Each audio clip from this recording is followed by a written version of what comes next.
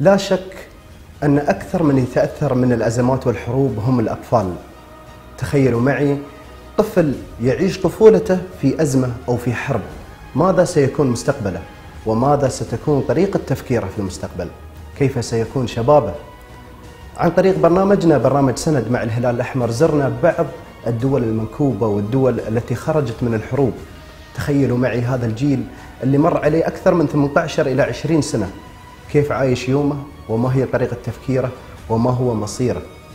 نطرح هذه النقاط كلها من خلال معرض ومؤتمر ديهات.